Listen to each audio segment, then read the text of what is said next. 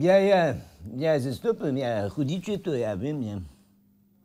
Ja, gledajte, lahko se pa dobimo, recimo, če se vam zdi, da bo tako lažje, ja, ne? Ja, se strinjam, ja. Ja, povejte, prosim, ja. Ja, lahko se dobimo, ja, lahko, tle pred inštitutom se dobimo, razen, če ne bo dežval. Tako. Ja, če bo deževalo, ja, tako, če bo deževalo, potem pa se lahko pri trženci pod nadstreškom dobimo, recimo. No, evo, krasno zmenjeno. Se pravi, eh, pred inštitutom, razen če bo deževalo, v tem primeru pa ne.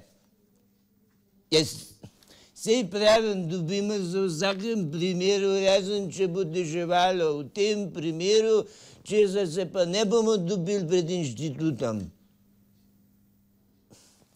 Sej tako sem povedal, no.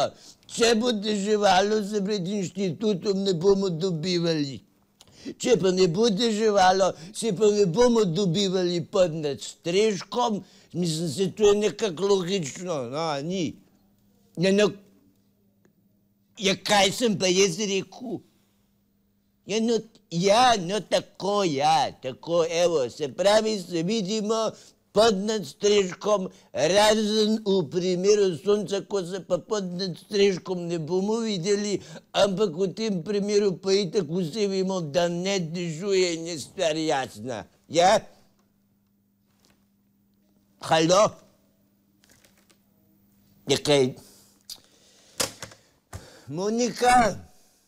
A mi pokličeš, prosim, ministrstvo nekaj prekinja, pa poglejte, prosim, vreme, kakšen je učinek, moram nekaj razložiti.